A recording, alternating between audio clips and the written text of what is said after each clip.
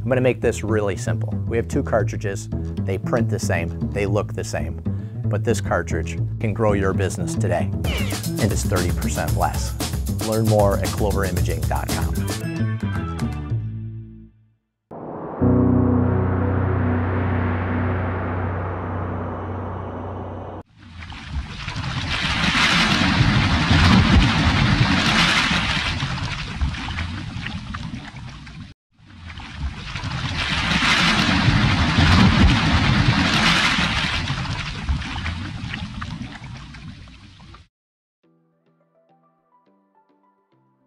Today's burning question is actually a two-part question. How serious should I take security and how can I make money selling security?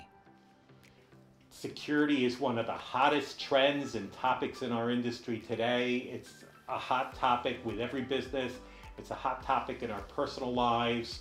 There was a 2017 study commissioned by Malwarebytes that found that 22% of small businesses that were impacted by a ransomware attack went out of business. Other small businesses have lost anywhere from 25 to 100 hours of productivity because their systems were down. Who better than a channel that specializes in selling and servicing small businesses to address their security concerns? Security is much more than a trend or just another option. Um, and to underscore that point, in our 2018 annual dealer survey last year, 32% of dealers indicated uh, security as a, uh, an opportunity for growth.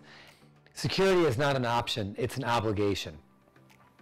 Uh, security also gives you a new, clear value proposition to bring to your clients to help you penetrate uh, laterally and more vertically into that account, as well as helping you to establish new accounts virtually every, uh, every supplier, every vendor in this industry that works with dealers is emphasizing security, whether it's an OEM, a software company, uh, an aftermarket provider, you name it, security is a, is a major concern.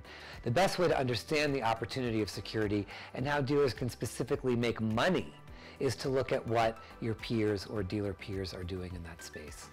So take, take Marco and St. Cloud, Minnesota, for example. They've seen their IT security offerings evolve from managed firewalls to multi-factor authentication, event correlation and management, device monitoring, and patch management. Interest is, is also being driven by emerging industry standards and regulatory changes. Think the financial industry, healthcare, and energy markets. Vertical markets. Dealers understand those fairly well. Dealers love the recurring revenue model, and that model jives particularly well with security offerings in the managed services segment.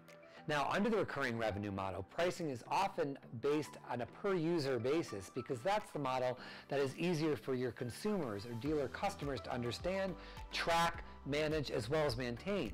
And of course, it's also easier for the dealer to do it that way as well. Let's not overlook physical security either, like data and network security, this can be considered another managed services offering. Here we're talking about access control systems, security alarms, and surveillance cameras. All of these products hang onto a network. They also represent a natural extension to a dealership's existing managed network services offering and a viable diversification opportunity as well. By combining physical security and its managed network services offerings, Perry ProTech has found a formula for success the dealership experienced consistent double-digit revenue growth and profits a little higher than that ever since it began offering physical security about five years ago. Certainly one of the things that any dealer can do is talk to your uh, talk to your OEMs, talk to your software partners, uh, ask them about security. Whether you're talking IT security, data security, or physical security, if you don't address your customer security concerns, someone else will. And if you'd like to learn more about security, go in a little deeper than what we've just been sharing with you, you can go to the CannataReport.com. Back in uh, February, we had our very first security themed issue.